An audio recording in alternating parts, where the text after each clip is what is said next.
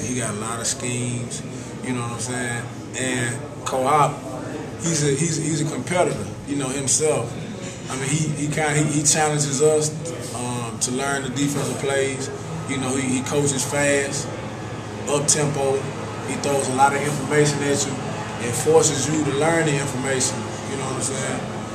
But um, and one thing he always tell us, you know, I mean, you always fight for your brother next to you. You know, we always break break the huddle um, with 11 brothers. 11 brothers on the field at the same time. You know, you die for your brother. You do anything for your brother. Yeah. So when you break, when you break, that's what you guys say. 11 brothers. You had about three or four pass breakups out there in the scrimmage this morning. How did it get? How did it feel to get back out there in, in a game game situation? I felt good, man. Uh, knowing that it felt great knowing that we was just going out on the field and just going like straight to a game, like a game like situation. You know, where we didn't have to really burn ourselves out um, in drills and kind of be tired going into the um, going into the um, into the scrimmage.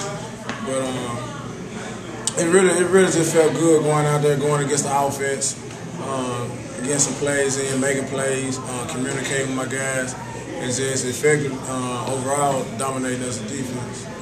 You tell me, I mean, they were missing obviously some key players up front offensively, mm-hmm. but still was, in terms of how you guys played, uh, still an effort that you were pleased with.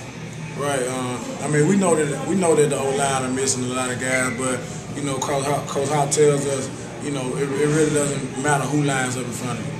You know, whether it's a four-year guy, freshman guy, you treat. I mean, you play you play every guy full speed. You know, 100 percent. No remorse. I mean, just go.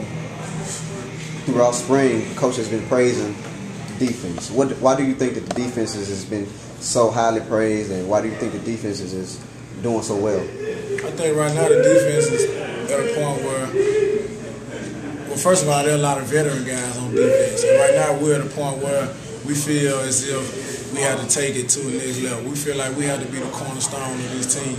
You know, we feel like we have to be the backbone of this team. And, you know, we really, like I said, we're really starting to grasp the concept that Coach, um, that Coach Hop is putting in, you know, the, the schemes that he's putting in, you know, we're really starting to uh, understand what he wants, you know, um, from a defensive aspect. And coming into practice, I mean, we just bring that, we bring energy, we bring excitement, um, we bring uh, what you call swagger, you know, and we feel like one, if we play with those three elements, then we'll be successful as a defense. You mentioned the word swagger. Is that kind of a, a call word for the defense this year? Is that you guys are trying to make that your? Is that? I mean, we feel as, as, a defense, as a team, you know, it's not just as a defense. We feel like you have to do everything. You have to, everything you do, you have to have a swagger about yourself. You know, and, and when you say swagger, it's really just you know a, self, a sense of self confidence. You know what I'm saying? Believing in yourself, believing in what you do, and let that display your actions on the field. Do you think that this swagger contributes to the fact that you moved back to your your position of cornerback? Um, Nah, I mean, I, I feel like I had swag before. I mean, when I was at Seder um, last season, but I feel like the, the, the, swagger is magnified or is up to another level. You know, like you know, now that I'm back in my natural position, you know what I'm saying. But I mean, I wouldn't use it as, as an excuse. You know, like you know what I'm saying, like that I didn't have it when I was at Seder, or it's more now that I'm at corner. You know, I, I feel like it was always present, but we're just trying to have that their swagger present as a unit, as a team, you know, as a defense. When you say the defense is, is starting to grasp his concepts in a general way, how would you describe those concepts? What's what's different about this defense?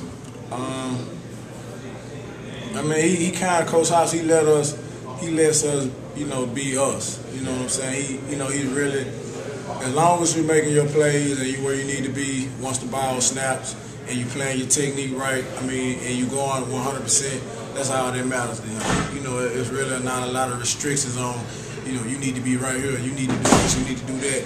I mean, as long as you have, as long as you have, as long as you have a feel for what you're doing and you're going 100%, I mean, he, he kind of lays back and lets you be you and let the players execute the defense. How much more freedom, freeing is that? Freedom. I mean, it must, can just go out there and be who you want to be. I mean, must really help the whole unit to kind of play with a band. Right, because it puts it puts you in a comfort zone. Yeah. Uh, you know, knowing that he, you know, he he just he calls a play and he sits back and he just lets us work the play. You know, instead of you know just being on us. You know, on, on ticket tack things. You know what I'm saying? Yeah. Well, you know, he, he lets the players um, handle the defense, handle the game.